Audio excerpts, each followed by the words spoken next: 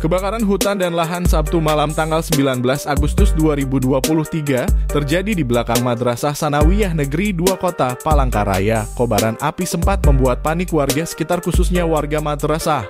Wakil Kepala Madrasah Bidang Kesiswaan Haji Syahrani mengatakan tidak hanya nyaris menyambar madrasah, api juga sudah mulai mendekati perumahan warga sekitar.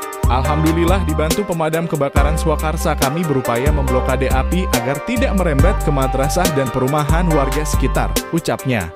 Haji Syahrani menambahkan pihaknya sempat terkendala ketika memadamkan api karena keterbatasan alat pemadam kebakaran. Sebenarnya di madrasah ada satu hidran pemadam kebakaran, tapi tadi tidak bisa keluar ketika digunakan. Dan ini jadi masukan bagi madrasah untuk menambah mesin penyedot air dan membuat beberapa titik hidran. Tambahnya, setiap musim kemarau lahan di belakang selalu terbakar karena suhu panas yang saat ini melanda kota Palangkaraya. Ini sudah yang kesekian kalinya lahan kosong di belakang madrasah terbakar, sampai sekarang kami tidak tahu lahan itu punya siapa, ungkapnya.